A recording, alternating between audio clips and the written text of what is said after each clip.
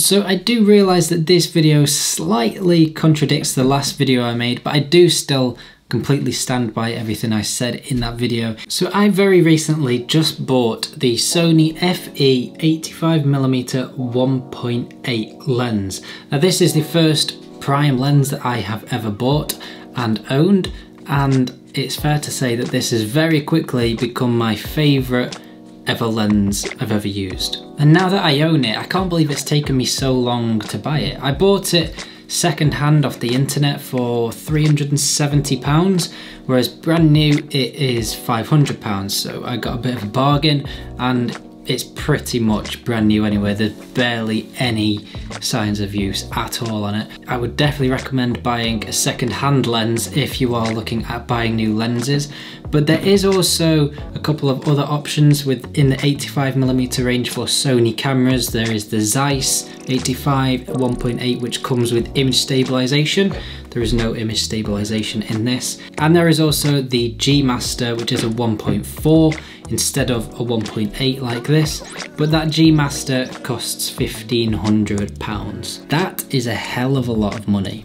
This costs 370 and yes, it's a 1.8 and not a 1.4, but you can't really complain at the price. So I decided to buy this lens because at work I've been using a Sigma 85mm 1.4 on Canon cameras because I shoot Canon at work, whereas I use Sony here, so I decided because I liked the 85mm lens so much, I was gonna buy my own for Sony. And it is such a versatile lens in so many situations for both photo and video. So I decided I was gonna get one.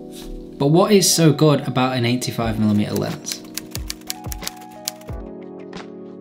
Let's start with the most obvious thing and that is the aperture. So as I mentioned this has an aperture of f1.8 and that means that you're going to be able to let a hell of a lot of light into the camera and onto the sensor. You can see just how wide the aperture opens up at f1.8 and what that means with all the, that light going into the camera and onto the sensor you're going to be able to create a really shallow depth of field and create all of that gorgeous creamy bokeh in the background which looks incredible. And what an aperture of f1.8 or 1.4 if you go for one of the more expensive lenses means is that it also performs incredibly well in low light. So the lenses I used before I bought this are Tamron lenses and these are brilliant little lenses. This is a 28 to 75 but it has an aperture of f2.8 and while that is that's good for a lot of lenses it does mean in certain low light situations you are a little bit limited. And yes, with modern day cameras you can boost the ISO to like ridiculous numbers that weren't possible a few years ago with the Sony a7S III for example, you can shoot up to God knows what and you will not see any grain.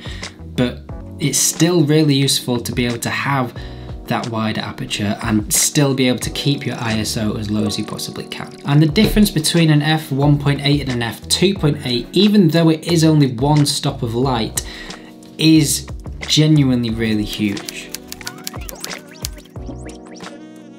85 millimeters is my favorite focal length because it sits nicely in the middle of wide angle and a nice telephoto length. If you're using this for photography, it is absolutely perfect whether you're doing portraits, street photography, or even event photography because you can stay far enough away from people that they don't get uncomfortable around being on camera and you still get all of that gorgeous depth of field and compression that makes it visually appealing. Something I want to do very soon is to just take out this 185mm prime lens and do a day street photography and I've even I've even dug out my old GoPro and charged it up and I'm thinking I might get a chest strap and go out and do a bit of point of view street photography style video. So let me know if that's something you want to see in the comments below. But moving on to video, 85 millimeters is perfect for B-roll. Peter McKinnon famously uses an 85mm lens for a lot of his B-roll, and if that's not a good enough reason to shoot your B-roll at 85mm, I'm not sure what is. But that's not to say you can only use this lens for B-roll, you can't. It is so versatile. Where it looks absolutely brilliant is if you're shooting something like an interview and you've got a second camera off to the side, maybe a bit more of a close-up angle. This is absolutely perfect for stuff like that because you get all of that compression and depth of field. It just looks incredible. I love it so much. If I could shoot literally everything with this one lens, I 100% would. Now this doesn't apply to all 85mm primes because some of them can get quite large, but this one in particularly, the FE 1.8 for Sony is so small and light and that is perfect for if you're doing something like portraiture or street photography because it does mean you can be much more discreet. You want to stay away from people so they're much more comfortable around the camera or if you are doing street photography you don't want people to notice that you are shooting whereas if you have a big set setup, it's much less discreet and people are going to notice you.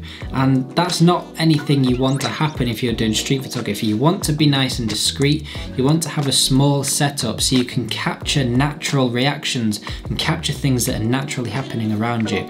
And that is what this allows you to do. And with it being so small and light, it's not going to weigh a ton in your bag either. It's not going to take up a load of space because you don't really want to be weighed down by heavy lenses, big lenses in your camera bag if you're walking around doing something like that all day. So as you can probably tell, I am fairly obsessed with this 85mm prime and now primes in general because I'm fairly new to using prime lenses. I've always used zoom lenses, but having started to use primes at work and in other environments, there is a huge difference between using a prime and a zoom lens. Obviously zooms have their advantages and their disadvantages, as do primes, the same with everything, but the image quality that you get from a prime is night and day above a zoom lens. So I do realise that this video slightly contradicts the last video I made, but I do still